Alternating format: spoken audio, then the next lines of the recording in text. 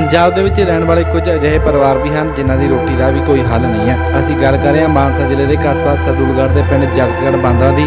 ਜਿੱਥੋਂ ਦਾ ਇੱਕ ਪਰਿਵਾਰ ਇੱਕ ਸਮੇਂ ਦੀ ਰੋਟੀ ਦੇ ਲਈ ਵੀ ਮੁਹਤਾਜ ਹੈ। ਮਾੜੇ ਹਾਲਾਤ ਦੇਖ ਕੇ ਬੱਚਿਆਂ ਨੂੰ ਛੱਡ ਗਈ ਘਰਵਾਲੀ ਤੇ ਬਾਪ, ਬੇਟਾ ਸਮਾਜ ਸੇਵੀ ਤੇ ਸਰਕਾਰ ਦੇ ਅੱਗੇ ਮਦਦ ਦੀ ਗੁਹਾਰ ਲਗਾ ਰਹੇ ਨੇ। ਜਾਣਕਾਰੀ ਦੇ ਅਨੁਸਾਰ ਚਰਨ ਸਿੰਘ ਅਤੇ ਉਹਨਾਂ ਦਾ ਪੁੱਤਰ ਪਰਿਵਾਰ ਦੇ ਵਿੱਚ ਇਕੱਲੇ ਰਹਿ ਕੇ ਦੁੱਖ ਭਰੀ ਜ਼ਿੰਦਗੀ ਬਤੀਤ ਕਰ ਰਹੇ ਨੇ। ਚਰਨ ਸਿੰਘ ਨੇ ਭਰੇ ਮਨ ਦੇ ਨਾਲ ਆਖਿਆ ਕਿ ਘਰ ਦੇ ਹਾਲਾਤ ਦੇਖ ਕੇ ਘਰਵਾਲੀ ਘਰ ਛੱਡ ਕੇ ਚਲੀ ਗਈ। ਜਿਸ ਤੋਂ ਬਾਅਦ ਮੈਂ ਦੋ ਬੱਚਿਆਂ ਨੂੰ ਬੜੀ ਮੁਸ਼ਕਲ ਦੇ ਨਾਲ ਪਾਲ ਕੇ ਲੜਕੀ ਦਾ ਵਿਆਹ ਕੀਤਾ ਅਤੇ ਹੁਣ ਮੈਂ ਤੇ ਮੇਰਾ ਪੁੱਤਰ ਇਕੱਲੇ ਰਹਿੰਦੇ ਹਾਂ। ਮੇਰੀ ਐਕਸੀਡੈਂਟ ਦੇ ਵਿੱਚ ਲੱਤ ਕੱਟੀ ਗਈ। ਅਤੇ ਹੁਣ ਮੈਂ ਮੰਜੇ ਤੇ ਬੈਠਾ। ਮੇਰਾ ਪੁੱਤ ਪੜ੍ਹਾਈ ਛੱਡ ਕੇ ਦਿਹਾੜੀ ਕਰਕੇ ਪੈਸੇ ਕਮਾਉਣ ਲਈ ਮਜਬੂਰ ਹੋ ਗਿਆ ਅਤੇ ਅਸੀਂ ਦਾਨੀ ਸੱਜਣਾਂ ਨੂੰ ਅਪੀਲ ਕਰਦੇ ਹਾਂ ਕਿ ਸਾਡੀ ਮਦਦ ਕੀਤੀ ਜਾਵੇ। ਮੇਰਾ ਨਾਮ ਜੀ ਚਰਨ ਸਿੰਘ, ਪਿੰਡ ਮੇਰਾ ਜਗਤਗੜ੍ਹ ਬਾਂਦਰ ਆ।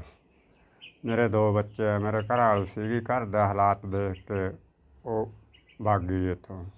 ਇਹ ਬੱਚੇ ਮੈਂ ਨੰਗ ਤੰਗ ਕੇ ਪਾਲ ਲਿਆ ਜੀ ਕਿਤੇ ਰੋਟੀ ਕਿਤੇ ਲਿਆ, ਕਿਤੇ ਗੁਰਦੁਆਰਾ ਲਿਆ ਜੀ। ਮੁੜ ਕੇ ਮੇਰੀ ਪਿਲਛਣ ਵੱਜ ਗਈ ਸੀ, ਜੋ ਪਿਲਛਣ ਵੀ ਮੇਰੇ ਪਿੰਡ ਦਾ ਨੇ ਕਟਾਤੀ ਜੀ। ਹੁਣ ਮੈਂ ਤਾਂ ਤੁਹਾਡੀ ਮਿਹਨਤ ਬਾੜੀ ਕਰਦਾ ਵੀ ਮੇਰੇ ਮੁੰਡੇ ਦੀ ਜ਼ਿੰਦਗੀ ਬਣਾਓ ਤੁਸੀਂ। ਕਿਸੇ ਹਿਸਾਬ ਨਾਲ ਹੀ ਬਣਾਓ ਜੀ। ਪਿਲਛਣ ਮੇਰੀ ਵੱਜ ਜੇ ਜੀ। ਉਹ ਮੈਨੂੰ ਦੋ ਪੈਸੇ ਆ ਜਾ ਕਰਨਾ ਇਹਨੂੰ ਸਕੂਲ ਜਾਂਦਾ ਨੂੰ ਕਿਤੇ ਦੇ ਦਿੰਦਾ 5 ਰੁਪਏ।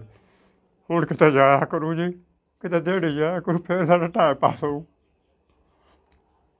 ਤੇ ਮੈਨੂੰ ਮੇਰਾ ਲੱਤ ਕੱਟੀ ਹੋਈ ਹੈ ਜੀ ਕੱਖੋਂ ਮੈਨੂੰ ਦੀਦਾ ਵੀ ਨਹੀਂ ਜਮੇ ਮੇਰਾ ਪੁੱਤ ਬੜਾ ਉਹਦਾ ਮੈਨੂੰ ਪਾਣੀ ਤਾਣੀ ਵੀ।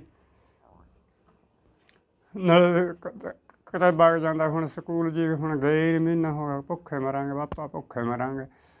ਇਹ ਹਾਲਾਤ ਕਰਕੇ ਮੈਥੋਂ ਪੜ੍ਹਾਇਆ ਵੀ ਨਹੀਂ ਗਿਆ ਜੀ। ਐਂ ਗੱਲ ਹੈ ਜੀ।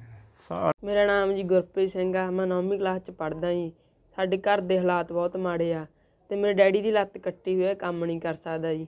ਤੇ ਮੈਂ ਸਕੂਲ ਜਾਣਾ ਚਾਹਣਾ ਜੀ, ਸਕੂਲ ਜਾਈਦਾ ਨਹੀਂ ਜੀ, ਕੰਮ ਧੰਦੇ ਜਾਂਦੇ ਆ ਜੀ। ਤੇ ਜੇ ਮੈਂ ਸਕੂਲ ਜਾਣ ਲੱਗ ਗਿਆ ਜੀ, ਫਿਰ ਅਸੀਂ ਖਾਵਾਂਗੇ ਕਿੱਥੋਂ? ਤੇ ਜੇ ਕਦੇ ਕਦੇ ਸਕੂਲ ਜਾਈਦਾ ਜੀ। ਤੇ ਮੇਰੇ ਡੈਡੀ ਦੀ ਲੱਤ ਕੱਟੀ ਹੋਈ ਹੈ ਜੀ, ਬਚਪਨ 'ਤੇ ਐਕਸੀਡੈਂਟ ਹੋ ਗਿਆ ਸੀ। ਤੇ ਜੀ, ਸਾਡੇ ਘਰ ਦੇ ਹਾਲਾਤ ਬਹੁਤ ਮਾੜੇ ਆ। ਤੇ ਮੇਰੀ ਮੰਮੀ ਹੈ ਨਹੀਂ ਜੀ, ਅਸੀਂ ਦੋ ਭੈਣ ਭਾਈ ਆ ਇੱਕ ਮੇਰੀ ਭੈਣ ਵਿਆਹੀ ਹੋਈ ਹੈ ਜੀ, ਮੈਂ ਹੀ ਹਾਂ ਇਕੱਲਾ ਜੀ, ਅਸੀਂ ਦੋਨੇ ਹੀ ਰਹਿੰਦੇ ਹਾਂ ਇੱਥੇ। ਤੇ ਜੀ, ਮੈਂ ਪੜ੍ਹਨਾ ਚਾਹਣਾ ਜੀ, ਤੇ ਸਾਡੀ ਕੋਈ ਮਦਦ ਕਰੇ, ਜਾਂ ਸਰਕਾਰ ਕਰੇ, ਜਾਂ ਕੋਈ ਹੋਰ। ਇਹਨਾਂ ਦੇ ਜੀ ਬੁਰਾ ਹਾਲ ਹੀ ਆ ਵਿਚਾਰਿਆਂ ਦਾ, ਕੋਈ ਨਹੀਂ ਕਮਾਊ, ਇਹਦੀ ਲੱਤ ਹੈਗੀ ਮੇਰੇ ਜੇਠ ਦੀ।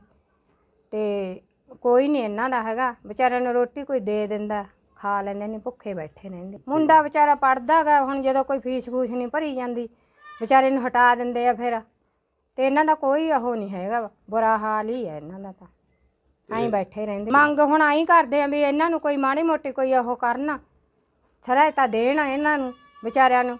ਕੋਈ ਆਪਦਾ ਕਰ ਲੈਣਗੇ ਚੁੱਲ੍ਹਾ ਚ ਤਪਾ ਲੈਣਗੇ ਹੁਣ ਇਹਨਾਂ ਦੀ ਕੋਈ ਉਹ ਨਹੀਂ ਹੈਗੀ। ਵੀ ਦੇਖ ਐਂ ਬੈਠੇ ਰਹਿੰਦੇ ਆ। ਕੋਈ ਪਾਸਾ ਵੀ ਵੱਟ ਲੈਂਦਾ ਆਣ ਗਵਾਂਢ ਵੀ ਭਾਈ ਕੋਈ ਨਹੀਂ ਦਿੰਦਾ ਹੈਗਾ ਇਹਨਾਂ ਨੂੰ। ਤੇ ਹੁਣ ਇਹਨਾਂ ਦੀ ਕੋਈ ਮ- ਸਰਕਾਰ ਕੋਈ ਇਹਨਾਂ ਦੀ ਮਦਦ ਕਰੇ, ਗਰੀਬ ਆ ਵਿਚਾਰੇ